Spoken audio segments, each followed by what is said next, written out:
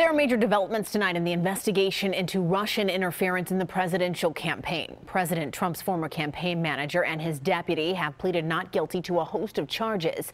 In the meantime, a former campaign advisor to the president has pleaded guilty to lying to the FBI.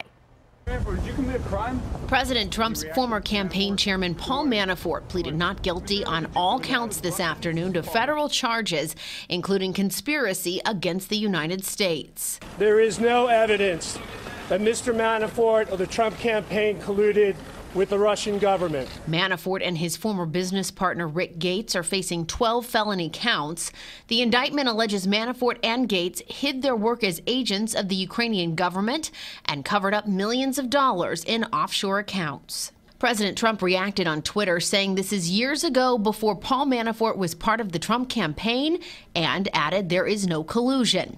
Special counsel Robert Mueller's team also revealed today a guilty plea from a former Trump campaign advisor. It marks the first criminal count that directly connects the Trump campaign to Russian intermediaries.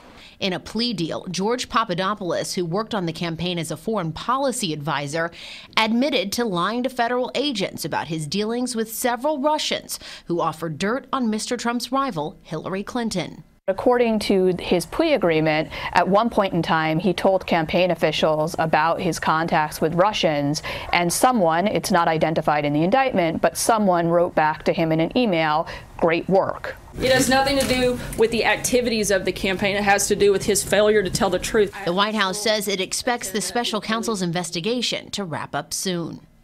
Manafort and Gates face decades in federal prison and millions of dollars in fines if convicted on all charges.